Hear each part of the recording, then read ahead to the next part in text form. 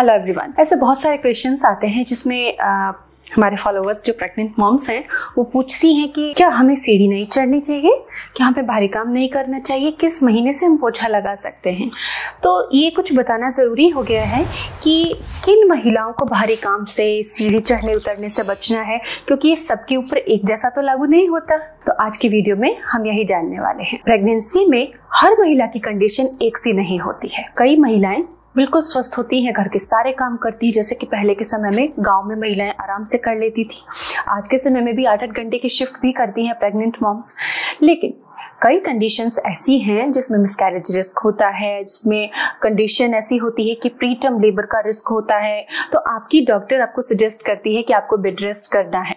तो इस वीडियो में हम उस कंडीशंस को समझ लेंगे ताकि आप अपना ख्याल रख सकें। जैसे अगर आप डायबिटिक हैं तो आपको अपना ध्यान रखना है, अपनी डाइट का ध्यान रखना है, आपको बहुत ज़्यादा मेहनत का काम नहीं करना है फास्टिंग में गैप नहीं होना चाहिए। लगभग हर दो घंटे पे आपको थोड़ा सा कुछ लेना है मेन मील के अलावा बीच में आप स्नैकिंग कर सकते हैं फ्रूट्स नट्स कुछ भी ले सकते हैं, जो कि आपको खाना होता है आपके रूटीन के अकॉर्डिंग अगर आपको थायराइड इश्यूज़ हैं तो थायराइड इश्यूज़ में भी मिसकैरेज रिस्क ज़्यादा रहता है। खासतौर से शुरू के तीन महीनों में आपको ज़्यादा ध्यान रखना है।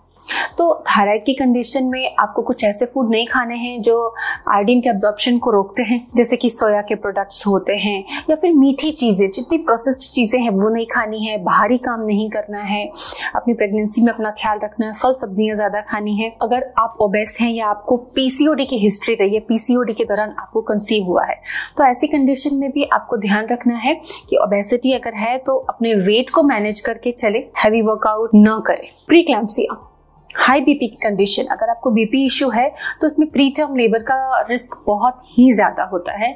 तो ऐसे में सीढ़ी चढ़ना, भारी काम करना, ऐसी कोई भी चीज़ें हैं जो आपकी कंडीशन को और ट्रबल में डालती है आपको और परेशानी में डालती है, वो चीज़ें आपको नहीं करनी है। ब्लड प्रेशर मेंटेन रहना चाहिए। Allergy conditions. कई महिलाओं को सीज़न से एलर्जी है किन्हीं फ्रूट से एलर्जी है, गेहूँ के डस्ट से, आटा लगाने से एलर्जी है, झाड़ू, डस्टिंग, इनसे एलर्जी है। तो जिन चीज़ों से एलर्जी उससे बचे, क्योंकि एलर्जी अगर बिगड़ जाती है, अस्थमेटिक कंडीशन आ जाती है अगर आपको तो बहुत ज़्यादा असर पड़ता है आपकी प्रेगनेंसी पर। तो ऐसे में आपको एक्स्ट्रा केयर करनी है, एक्सपोजर से, पोल्यूशन से, जिन चीज़ों से आपको एलर्जी है, जिन फ़ूड से आपको एलर्जी है, उनसे। अगली जो डिफ़िकल्ट सिचुएशन होती है प्रेगनेंसी में जो कि प्रेग्नेंट मॉम के लिए थोड़ी सेंसिटिव चीज़ है वह है प्लेसेंटा पोजिशन अगर प्लेसेंटा नीचे की तरफ़ है। प्लेसेंटा पोजीशन के ऊपर मेरा डिटेल वीडियो भी है। आप ज़रूर देखिएगा अगर आपको ये प्रॉब्लम है। तो प्लेसेंटा धीरे धीरे मूव भी करती है डिलीवरी के टाइम मूव भी कर जाती है। तो प्लेसेंटा प्रेविया की प्रॉब्लम है। तो उसके ग्रेड के अकॉर्डिंग आपको आपकी डॉक्टर सजेस्ट करेगी कि बेड रेस्ट करना है। तो अगर बेड रेस्ट करना है तो स्ट्रेस में नहीं आना कि अब तो मैं चल नहीं सकती, अब तो मैं घूम नहीं सकती, अब मैं तो नॉर्मल ज़िंदगी नहीं जी सकती, ऐसा नहीं है। आराम से आप काम करें, ज़्यादा रेस्ट करें आप, जिससे कि आपके पेट के ऊपर ज़्यादा प्रेशर ना पड़े।